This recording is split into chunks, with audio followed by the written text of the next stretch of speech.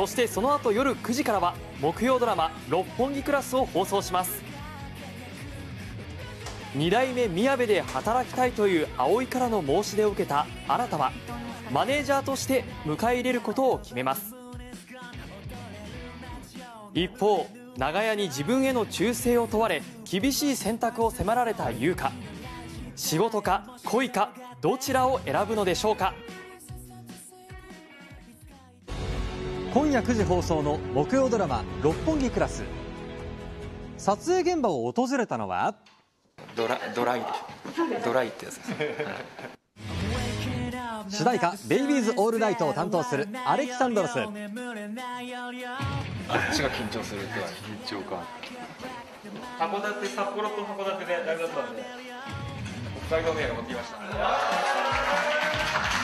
ありがとうございますさらに主題歌が収録された CD もプレゼント。